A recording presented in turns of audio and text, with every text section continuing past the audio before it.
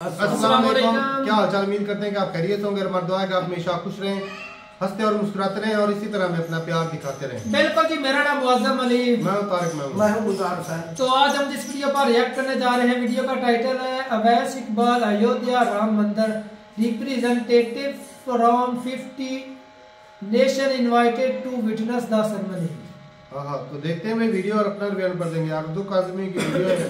कौन करते हैं? Three two one video start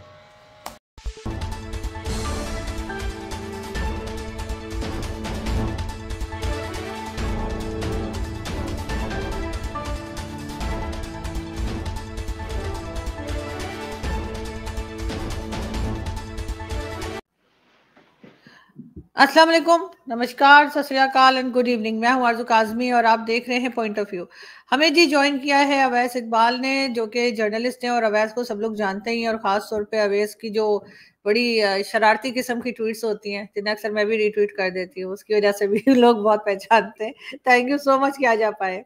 आप कैसी आरज़ू?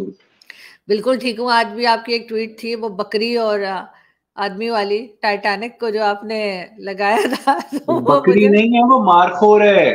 अच्छा सॉरी मारखोर। मुझे तो बकरी लग रही थी। आपको पता है ना कि पाकिस्तान पर मारखोर की हुक्मरानी है। तो और फिर मारखोर वो वो जो पाकिस्तानिक है टाइटैनिक की तरह तो इस मारखोर ने हाँ। पाकिस्तान को डुबोने का पूरा तहिया किया हुआ है। अच्छा मैंने देखा मुझे लगा कि मुझे बकरी जैसी उसकी लुक आई तो मुझे वो बकरी और मुल्ला वाला जो है ना वो मेरे माइंड में घूमता रहता है हर वक्त। और यहाँ पे यही बताया जाता है कि मुल्ला कैसे कैसे बकरियों के साथ रहते हैं तो इसलिए मुझे वो देखकर एक नज़र में मैंने अपनी तरफ़ से सोच लिया कि इससे पहले कि आप बात को आगे बढ़ाएँ आपकी मुल्ला वाली बात से मुझे राजा मेहदी अली खान की एक छोटी सी नज्म याद आई कि मैं और शैतान देख रहे थे जन्नत की दीवार पे चढ़कर। मैं और शैतान देख रहे थे जन्नत की दीवार पे चढ़कर। हमने देखा लंबी लंबी दाढ़ियों वाले, मोटी मोटी तोंदों वाले, बदसूरत बदहैत मुल्ला, खौफजदा हुरों के पीछे हँसते कुतकुते शोर मचाते खुशी से भाग रहे थे। मैं और शैतान देख रहे थे जन्नत की दीवार पे चढ़कर। हमने देखा एक मुल्ला हलवे के एक ढेर के ऊपर, चूरन के एक पेड़ के नीचे सर को झुकाए, ऊंग रहा था। मैं और शैतान देख रहे थे जन्नत की दीवार पे चढ़कर। बहुत इंटरेस्टिंग है और यकीनन वैसे मेरा तो बिल्कुल जैसे कहते हैं ना कि मुझे कोई शौक नहीं रहा जन्नत में जाने का जैसे मैंने किस्से सुने और जिस तरह की हो रहे हैं और जो कुछ सब मेरा तो कोई इरादा नहीं है वहाँ जाने का। मैं अपने मैं अपने जो मेरे काफिर कह ले कह लीजिए जो काफिर दोस्त है मैं उनके साथ में रहना पसंद अव्वल तो जन्नत और दोजख का तस्वुर ही तस्वुर आती है लेकिन अगर कोई जन्नत फ़र्ज़ करें हुई भी तो वहाँ पर सारे बोरिंग लोग होंगे। वो एक बंदा जन्नत में चला गया तो पहले दिन उसको चने की दाल फिर दूसरे दिन भी चने की दाल तीसरे दिन भी चने की दाल तंग आ गया। कहने लगा कि यार मैं जन्नत में आ मुझे रोज चने की दाल क्यों खिलाते हो? तो फरिश्ता कहता है अब चार बंदों के लिए देख पकाए। वही बात है सही बात है। और ऐसा ही होगा और लेकिन खैर मुझे तो कोई शौक नहीं जन्नत में जाने का लेकिन हम अगर बात करें जन्नत से जैसे मुस्लिम्स की बात हो रही है तो एक डेलीगेशन गया भारत से उनकी जो पार्लियामेंट की मेंबर हैं, वो पहुँची मक्के में और उन्हें बड़ा अच्छा रिसीव किया गया। आप जानते ही हैं कि मोहम्मद बिन सलमान जो है, बहुत चेंजेस ला रहे हैं सऊदी अरब में। लेकिन उस पर जैद अहमद साहब को बहुत बुरा लगा। उन्होंने कहा, जी, ऐसे कैसे? हिंदू और सिख जो है, वो अंदर जा सकते हैं। क्या कहेंगे आप? वो एक मरासी था ना तो वो डेथ बेड के ऊपर था तो उसके दो चार जो बेटे थे, वो भी मरासी थे। तो वो भी उसके पास बैठे हुए थे। तो अभी मरने में थोड़ा वक्त था तो एक मरासी कहने लगा कि, सुन शीदिया जब तक अब्बा मारता नहीं, पोली पोली टोलकी ना बजा लीजिए तो इसलिए मसला ये है कि एक जो इस वक्त सिचुएशन है कि जैद हामिद हो या इस तरह के लोग हों, ये एक मरती हुई आइडियोलॉजी के नाम लेवा है। अब मसला ये है कि जब आप रिलीजियस एक्सट्रीमिज्म को और रिलीजियस फिनेटिसिज्म को हवा देते हैं तो फिर इसी तरह की बातें आती हैं कि जनाब आप इनकी मुकदस मकाम के ऊपर सफ़र नहीं कर सकते। मुझे ये बताएँ कि क्या आपकी करतारपुर में जाने पर पाबंदी है? क्या आपकी हसन अब्दाल में जाने पर पाबंदी है? क्या आप वेटिकन नहीं जा सकती? क्या आप दुनिया के जो मुख्तलिफ़ मजाहब के मुकदस मराकज हैं, वहाँ पर हर रंगो नस्ल के, हर मज़हब के लोगों को आने की मुकम्मल आज़ादी है? तो ये जो आलम इस्लाम के अंदर उलमा का रवैया है कि जनाब हमारे मुकदस शहरों में गैर मुस्लिम नहीं जा सकते और अगर समृति ईरानी वहाँ पर गई हैं, डेलीगेशन के हमरा तो ये गलत बात है। तो मुझे लगता है कि ये इन उलमा की तंग नजरी है और शहजादा मोहम्मद बिन सलमान जो है, मैं आज आपको दावे के साथ कह सकता हूँ कि ये मुस्तबिल के खादिमुल हरमैन शरीफैन भी हैं, जमाल खुशोगी के कातिल भी हैं और उसके अलावा ये एक एथीस्ट भी हैं। ठीक है? तो इस वक्त ये इनके रिलीजन के अंदर जिस तरह से अहादीस की कुता बुरीद कर रहे हैं कता बुरीद कर रहे हैं, उनको छांटी कर रहे हैं तो उससे लगता ये है कि इससे आलम इस्लाम की जो रिवायती सोच है, उसको एक बहुत बड़ा मसला है और जैद हामिद जो है, उसी एक रिवायती सोच की अक्कासी करते हैं। आरज़ू। मगर ये ज़रूर है कि बहुत से लोग ये भी चाहते हैं, जो मुस्लिम्स की बात कर रही हूँ ये भी चाहते हैं कि कुछ रिफॉर्म्स होनी चाहिए इस्लाम में। ऐसा नहीं है कि हर चीज़ को हम आँखें बंद करके और बस फॉलो करते चले जाएँ, जैसे हदीस की बात आपने की। तो मोहम्मद बिन सलमान की इस बात से मैं तो किसी हद तक एग्री करती हूँ कि बहुत सी हदीसें ऐसी हैं, जो जिस पर यकीन नहीं किया जा सकता। आप बिल्कुल ठीक कह रही हैं कि खलीफा थे, उमवी खलीफा हज़रत उमर बिन अब्दुल अज़ीज़, जिन्होंने 717 से लेकर 720 ईस्वी तक हुक्मरानी की। तो एक दफ़ा उनके दरबार में एक शख्स को पेश किया गया और उस पर इल्ज़ाम ये था कि वो झूठी अहादीस खड़ता है। तो हज़रत उमर बिन अब्दुल अज़ीज़ को बहुत गुस्सा आया और उसने, उन्होंने कहा कि तूने वो हदीस नहीं सुनी कि जिसने झूठी हदीस बनाई वो क्यामत के दिन उसके ऊपर सख्त अजाब जारी किया जाएगा। तो वो बंदा मुस्कुराकर कहने लगा कि, हजूर, ये हदीस भी मैंने बनाई है। तो हम्म। इस वक्त वाकई जो आपकी अहादीस की बॉडी है वो बहुत ज़्यादा क्या कहते हैं कंट्रोवर्शियल है और 632 ईस्वी में हजूर सल्लल्लाहु अलैहि वसल्लम की वफात के बाद जो मुहदसिन का दौर है जो सहाय सत्ता है वो उनके 200 साल के बाद आते हैं और वो सारे के सारे सेंट्रल एशिया और ईरान के इलाकों से ताल्लुक रखने वाले हैं और उनमें से कोई भी अरब नहीं है। और जैसा कि जावेद अहमद गामदी साहब, जो कि एक रिनाउंड मुस्लिम स्कॉलर भी हैं, उनका भी ये कहना है कि जो इस्लाम की फाउंडेशन है, इस्लाम का जो एसेंस है, वो कुरान और सुन्नत है, उसमें हदीस शामिल नहीं है आरज़ू। बिल्कुल ऐसा ही और आई विश के लोग थोड़ी सी अक्ल कर लें। वैसे तो लोग यहाँ पे अकल के पीछे लट लेके पड़े होते हैं लेकिन फिर भी थोड़ी अकल कर लें। लेकिन आ, भारत में अगर हम देखें तो राम मंदिर की इनाग्रेशन है ट्वेंटी सेकेंड जनवरी को।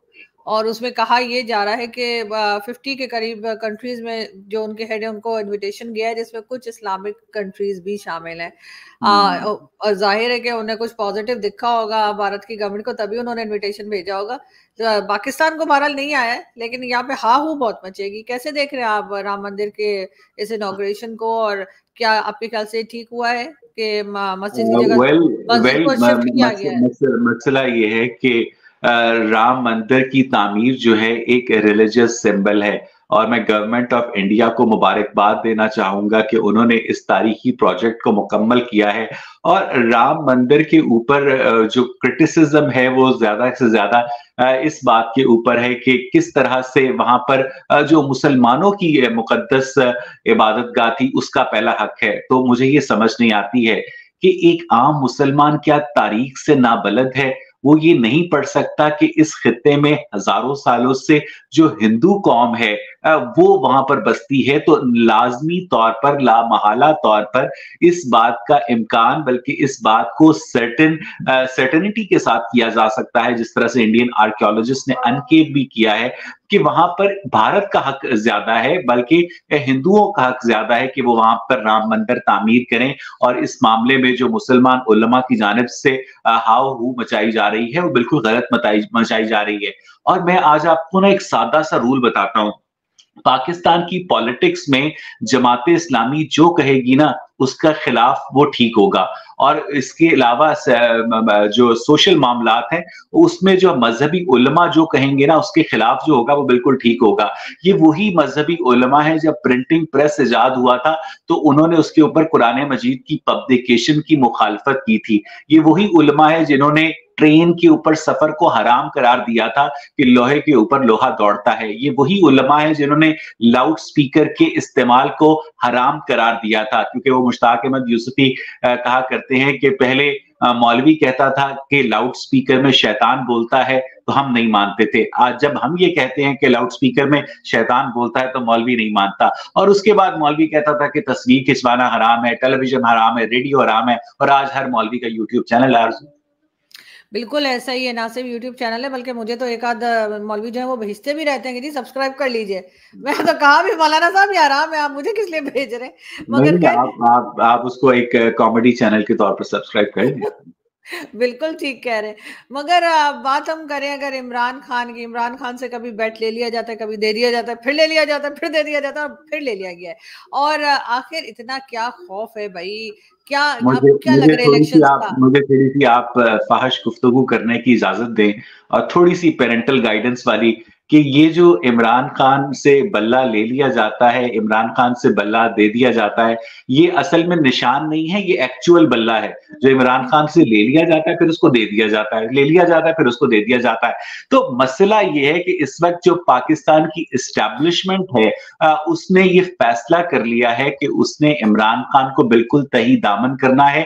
आप देखिए कि इस वक्त 2018 में नबिया नवाज़ शरीफ के साथ जो कुछ इस्टेब्लिशमेंट कर रही थी तो 2023 में वही सब कुछ इमरान खान के साथ किया जा रहा था। हम इससे पहले भी ये बात कर चुके हैं कि 1970 में जब पाकिस्तान के अवाम शेख मुजीबुर रहमान के साथ थे तो पाकिस्तान की स्टैब्लिशमेंट जुल्फिकार अली भुट्टो के साथ थी। जब पाकिस्तान के अवाम जो थे, बेनजीर भुट्टो के साथ थे तो पाकिस्तान की स्टैब्लिशमेंट नवाज़ शरीफ के साथ खड़ी थी। जब पाकिस्तान के अवाम नवाज़ शरीफ के साथ थे तो पाकिस्तान की स्टैब्लिशमेंट इमरान खान के साथ खड़ी थी। और जब अब पाकिस्तान के अवाम की ओवरवेलमिंग मेजोरिटी इमरान खान के साथ है तो पाकिस्तान की स्टैब्लिशमेंट नवाज़ शरीफ के साथ खड़ी है।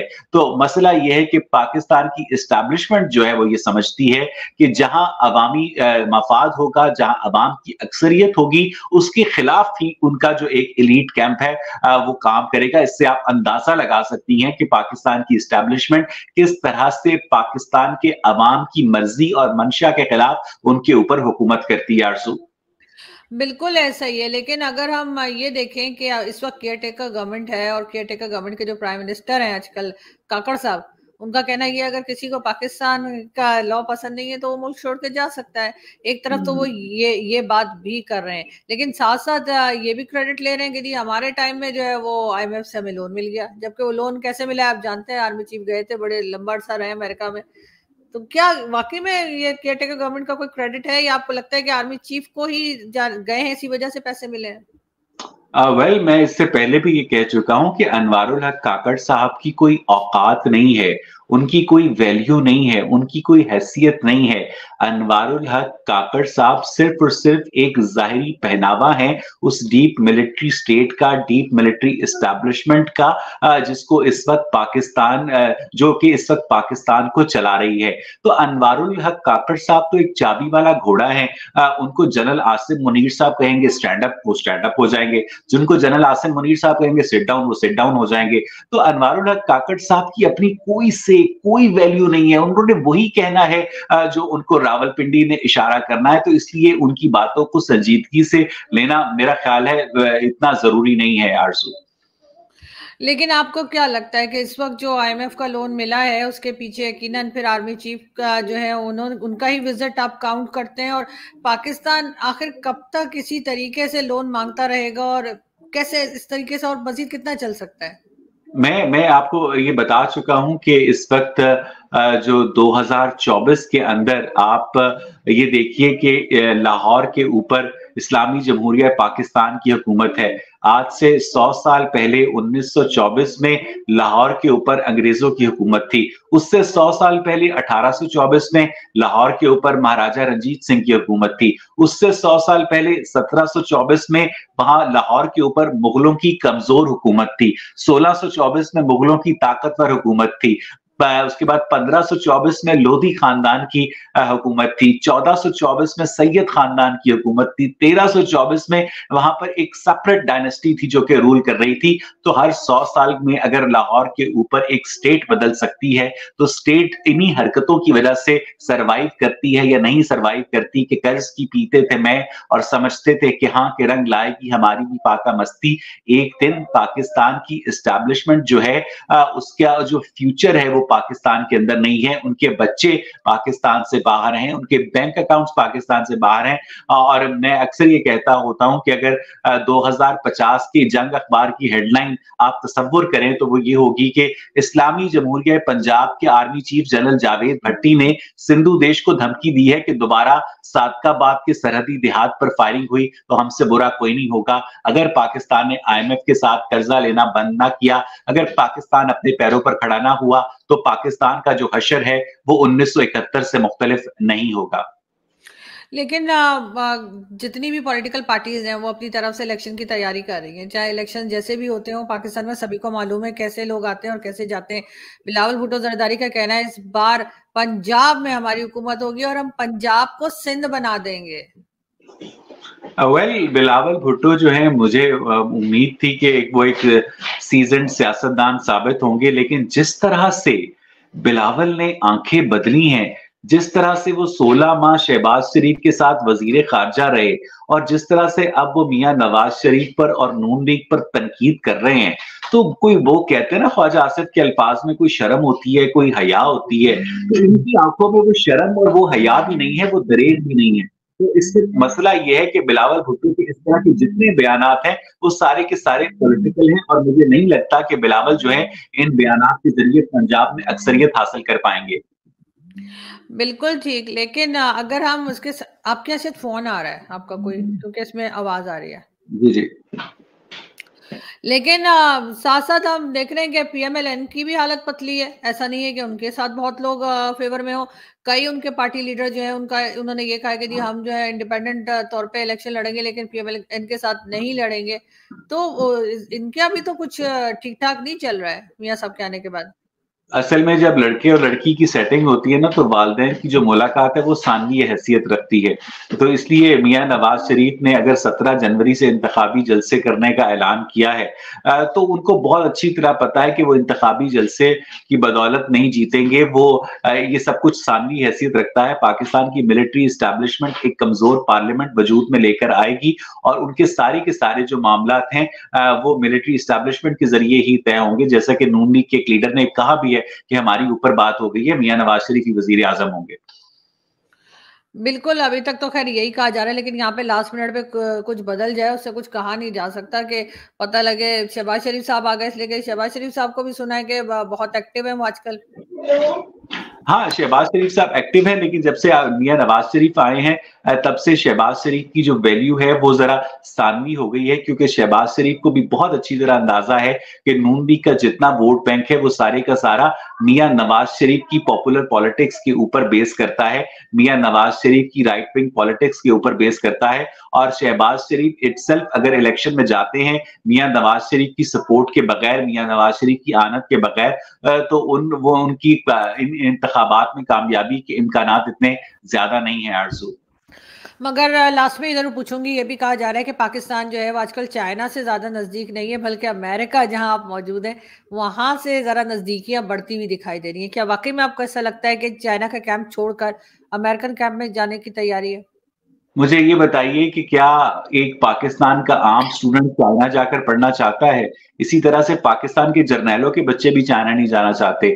वो चाइना जाकर पाकिस्तान का एक आम नौजवान रोज़गार हासिल नहीं करना चाहता। पाकिस्तान का एक आम नौजवान जो है वो लॉस एंजलिस से, वो न्यूयॉर्क से, वो शिकागो से ज़्यादा वाकिफ है बनस्बत बीजिंग के या उरूची के। मसला ये है कि पाकिस्तान कभी भी हकीकी तौर पर चाइनीज़ कैंप में नहीं रहा और ये जो पाक चीन दोस्ती के जो नारे हैं, ये सिर्फ़ और सिर्फ़ एक काउंटर नरेटिव के तौर पर बिल्ड किए जाते हैं और पाकिस्तान हमेशा से अमेरिकन को सब सपोर्ट करता रहा है और वक्ती पॉलिटिक्स के तहत अगर वो कभी चाइना के करीब हुआ भी है, पाकिस्तान मिलिट्री को अमेरिकन रजीम इसलिए सपोर्ट करती है क्योंकि उसे लगता है कि उसे इस खत्े में एक ताकत का जो तवाजुन है वो कायम रखना है और इस वजह से जनरल आसिम मुनीर जो है इतनी देर अमरीका में मुकीम भी रहे पिछले दिनों। मगर क्या कुछ हासिल हुआ? उनको यकीनन आईएमएफ के लोन जो है, उसके अलावा आपको लगता है कि चाइना के बगैर पाकिस्तान रह सकता है? क्योंकि सी पैक शुरू किया सी पैक का खैर डब्बा आजकल गोल है। तो हो गया। अब दोबारा नहीं आ सकेगा सी पैक आपके ख्याल से खत्म है? जब तक आप बलूचिस्तान में स्टेबिलिटी कायम नहीं करेंगे जब तक आप पाकिस्तान की लोकल इंडस्ट्री को सपोर्ट नहीं करेंगे जब तक आप पाकिस्तान में वो इंफ्रास्ट्रक्चर कायम नहीं करेंगे जिसके नतीजे में आ, ये जो सी पैक का रिलेशनशिप है ये एक पैरासिटिक रिलेशनशिप ना हो तब तक पाकिस्तान में सी पैक की कामयाबी का कोई इम्कान नहीं है आरसू लेकिन बहरहाल हम ये ज़रूर चाहेंगे कि लास्ट चीज़ मैं आपसे पूछना चाहूँगी, वो ये कि आप इस वक्त अमेरिका में हैं, वहाँ पे जो पाकिस्तानी मौजूद हैं, आपको क्या लगता है कि उनका पाकिस्तान के बारे में क्या ख्याल है? और क्या अभी तक वहाँ पे इतने लोग हैं जो पहले कहा जाता था ओवरसीज पाकिस्तानी इमरान खान को बहुत सपोर्ट करते हैं? क्या आज भी ओवरसीज पाकिस्तानी इमरान खान के साथ खड़े हैं, इसलिए कि इमरान खान के दौर में जो कुछ हाल हुआ पाकिस्तान का, वो भी किसी से ढका छुपा नहीं है? ओवरसीज पाकिस्तानी जिस दिन पाकिस्तान को छोड़ते हैं उस दिन उनकी घड़ी टूट जाती है। मुझे नहीं पता कि 30 जून 2014 के बाद 2023 के बाद का पाकिस्तान जो है, कैसा है? मैं अपनी यादाश्त के ऊपर और मैं अपनी जो मीडिया कवरेज है, उसके ऊपर ही अपना एनालिसिस दे रहा होता हूँ।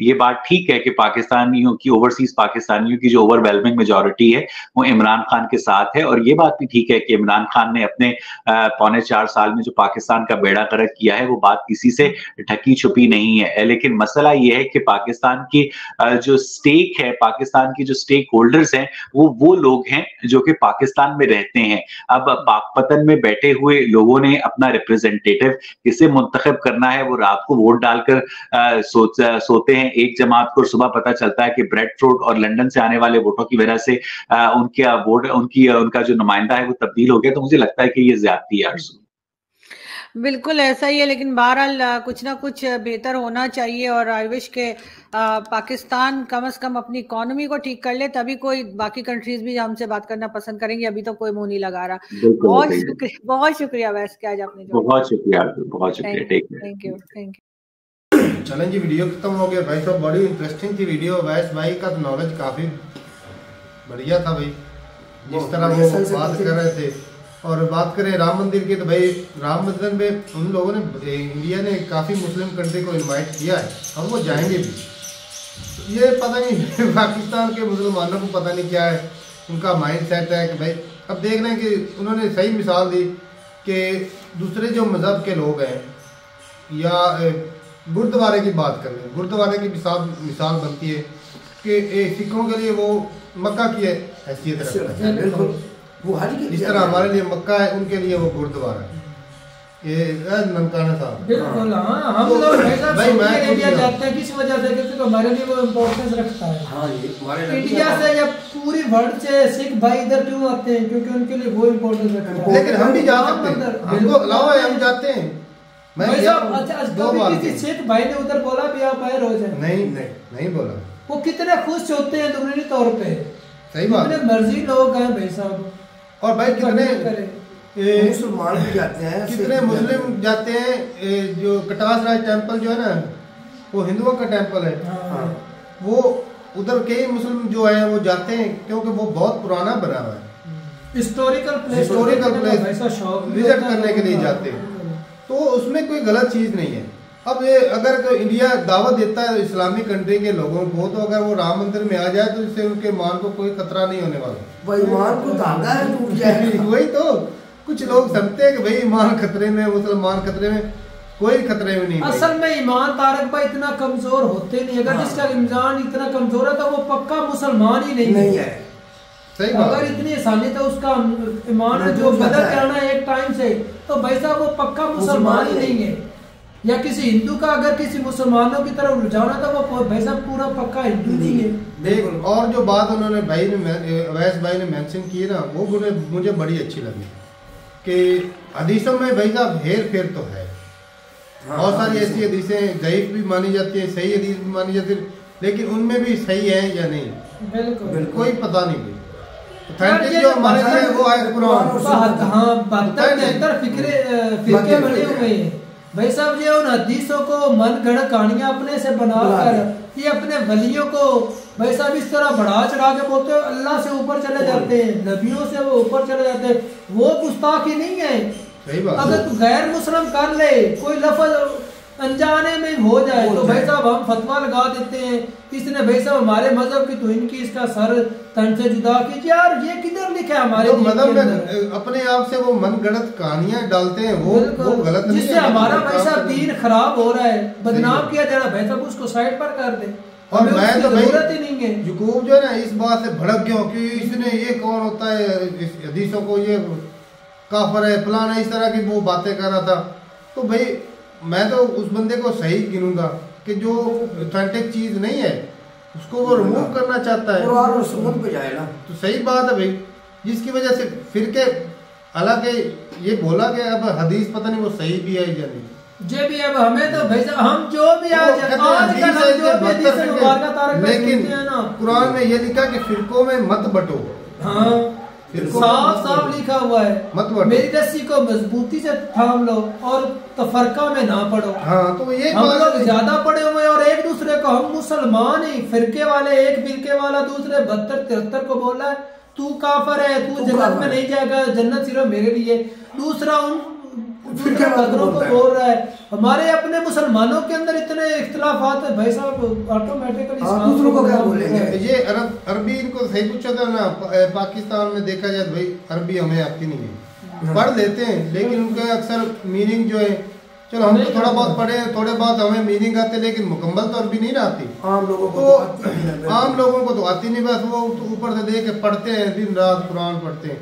लेकिन उनको पता नहीं होता कि इसमें लिखा क्या है। असल में यही तो अल्लाह ने फरमाया भाई साहब कुरान को ये नहीं सिर्फ़ आपने ऊपर से सिर्फ़ पढ़ने ही आपको स्वभाव मिलेगा नहीं भाई साहब।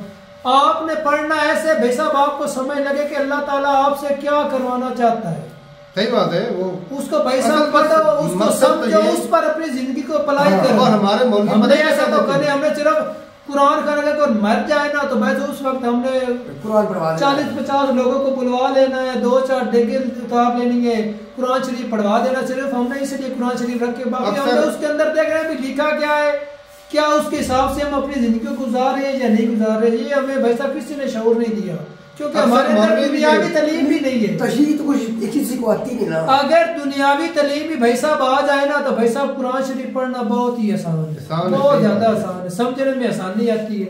सारे बाकी उस तरफ़ लोग जाने नहीं दे पॉलिटिक्स की बात की साफ़ ज़ाहिर भाई साहब जिसके साथ जनता होती है उसके साथ आर्मी नहीं होती। हम्म। वो दूसरी पार्टी वो वो यही आर्मी का मेन शुरुआत ही मिशन यही रहा कि अगर जिसके लीडर के साथ अवाम अटैच होगी ना उसके साथ हम अटैच नहीं रह सकते क्योंकि वो पावरफुल हो जाएगा।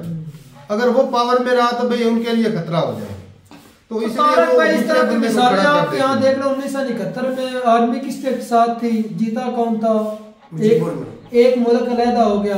आज वही सिचुएशन भाई साहब पाकिस्तान में सोशल मीडिया का दौर है लोग बुरे भले को जानते हैं लोगों को पता चल चुका है हमें कौन चूरन दे रहा था हमें कौन लूट रहा था। और आज वही हमारे अदारे भाई साहब किसी और बंदे के साथ खड़े हैं।